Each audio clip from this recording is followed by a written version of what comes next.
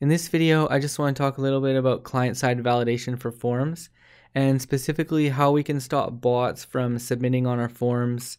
Um, I'm talking about like automated bots or processes maybe from another website or server and they're basically just putting a bunch of nonsense into your form and submitting it. And even if you're able to stop them with your server side validation, they're still going to be making HTTP requests on your server maybe every five minutes, maybe every minute, and that is going to impact your server performance.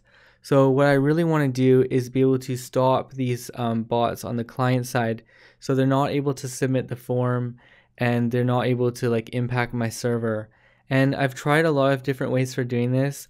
I know that you can use CAPTCHAs as an effective way, but I actually I don't like CAPTCHAs because I think it um, holds people back from submitting the form because they don't want to do the CAPTCHA, and a lot of times filling out the CAPTCHA is very difficult.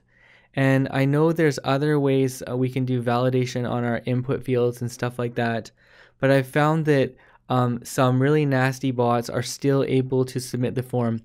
And I think that they're submitting the form not by filling out the fields on your um, in your form. I think they're doing it um, in a different way. Some of the more clever ones, such as um, they're basically finding out all of your inputs names and then they're grabbing from the action tag um, where to submit to, and maybe they are posting to your form um, in their own way, not necessarily going through your form.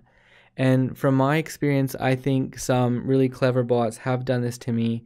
And one way that I was able to stop them is by removing the action tag from the form tag. So once they had nowhere to submit to, um, they weren't able to do that anymore. So basically, what I did was I removed um, the action tag, and where the form was submitting to before, I changed that to a new file, and I renamed that file it was being submitted to. And the result was they weren't able to submit it anymore. I wasn't getting any more bot registrations in my database. So I'll just show you how I did that, and I'm also curious to know, um, you know, what you think is the best way or what way works for you. So uh, just post that in the comments field how you think is the best way to do client-side validation. I'm just going to go over to my register form first here, and you'll see I just have a simple registration form right here. Um, but you'll notice in the form I've set the action tag to an empty string. And if you were getting bots um, submitting spam on your form before, one thing you'll definitely want to do first is you'll first want to change the file name of where this is being submitted to. And after that, set the action tag to an empty string. And what we're going to do is we're going to add this action tag in back in with JavaScript um, be, right before they submit the form. So I'm just going to go into my main.js file and you'll see I'm using jQuery here. And what I'm doing is I'm selecting that particular form. So um, the ID of register form and the form is nested within this div right here. And then I'm selecting the submit button with input colon submit. After that, we're using dot click and we're passing it this function right here. And the first thing we're doing in the function is we're grabbing the form with register form and then space form. And we're setting the attribute, um, we're setting the action attribute to uh, where we want it to submit to. So in my case, it's HTTP and then concatenate document.domain. So this way it's going to work on my localhost and it's also going to work on the server that I'm going to push it onto. And then we concatenate on the rest of the path right there. And after we've updated the action attribute here, then we're just using, um, we're selecting the form and then we're using dot submit right here. So right now this form that we're submitting, it has no action tag and we are going to add that back in with JavaScript here and then submit the form. So we can just go over and test this out. Um, I'm just going to put a bit of rubbish in here and uh, any email. And let's put in a password and click register.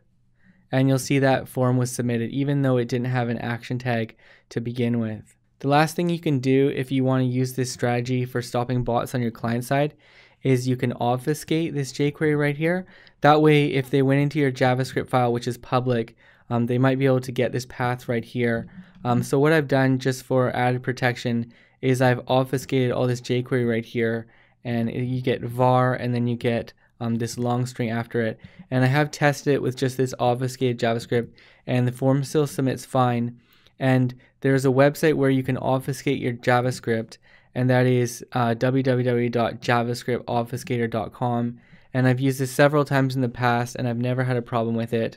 And that's just one more thing we can do to make it a little bit more secure and stop them or make it more difficult for them to know where your form is being submitted to if they were going into your JavaScript files. So please post in the comments what you think about this kind of strategy for stopping on the, them on the client side. And if you have your own effective methods for doing this kind of thing, um, please post them as well so uh, I can see them and everyone else can see them. And maybe we can get a bit of a discussion going on good ways to stop these kind of hackers and bots um, on the client side.